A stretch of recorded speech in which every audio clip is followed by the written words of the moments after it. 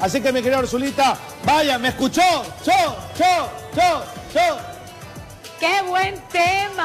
Seguir esas recomendaciones. Muchísimas gracias, doctor. Y acá también a seguir las recomendaciones con estos tips de belleza y de maquillaje que nos viene muy bien. Sole Castilla nos acompaña esta mañana en nuestro programa para decirnos cómo nosotros podemos cubrir en nuestro rostro ciertas imperfecciones. Siempre tenemos por allí una manchita, unas pequitas, alguna imperfección, alguna cicatriz, pero cómo taparla para que ni se note ni parezca que existe es lo que nos va a enseñar hoy Sole. Bienvenida. Gracias, Ursulita. Sí, definitivamente en el rostro a veces tenemos esas manchitas, tenemos esas granitos que nos salieron a última hora o esas imperfecciones y realmente es súper fácil. Si uno quiere y es una que es muy profunda, podemos colocar una base en crema justamente donde, va, donde tienes los granitos, ¿verdad? Para que no se vean tanto.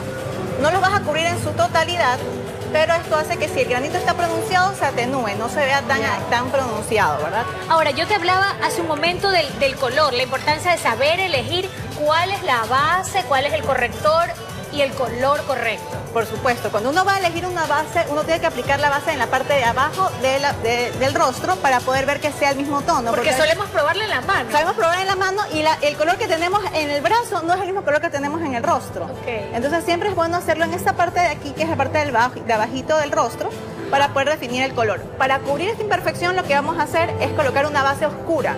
Es decir, no me va a quedar la base oscura, no. La idea es colocar una base oscura y con esta o base sea, en el granito, en la manchita, ponemos una base un poco más oscura que nuestra piel. En toda la parte del rostro que vamos a maquillar. Lo que hacemos es maquillarla con un tono más oscuro, que decir, ¿me va a quedar muy negro? No, la idea es ocultar todas las manchitas.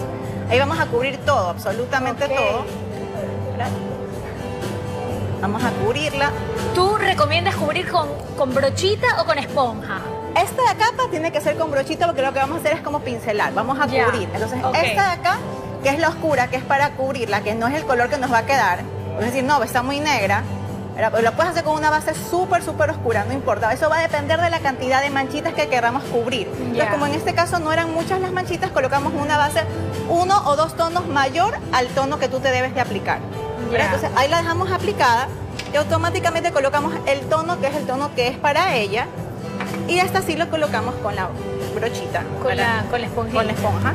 Y esto aquí lo colocamos encima o sea, primero es como que le pones un fondo. Exactamente, como le fondeas. Más oscuro para cubrir todas las imperfecciones. Ya está cubierto el tono, obviamente ese no es el color. Ahora sí, aplicamos el color de la base que ella necesita. Y lo colocamos de igual manera. Lo puedes colocar con la, con la esponjita lo vamos a difuminar de la manera correcta y si te vas dando cuenta, ya el color de abajo se va desapareciendo totalmente. Sole, ¿no me va a quedar muy pesada la, base en, la cara? ¿No se va a ver como muy empastada la cara? No, si te das cuenta, si utilizamos la base correcta, que eso es lo que realmente en el mercado o, normalmente hacemos, es que no buscamos una base correcta para nuestro, nuestro tipo de piel. Hay bases que son muy oleosas, que tienen mucho aceite. Ese tipo de, bases no nos va a, todas las personas. Tenemos que buscar un tipo de base que vaya acorde al tipo de piel que tienes. Si tienes una piel mixta, si tienes una piel grasa, si tienes una piel seca. Entonces, en este caso, una base que utilizamos, que son las bases que tenemos veganas. Que son más líquidas. Que son mucho más líquidas que no Sole, tenemos que irnos a un corte, pero vamos a regresar con la segunda parte de estos tips de maquillaje para cubrir manchitas e imperfecciones.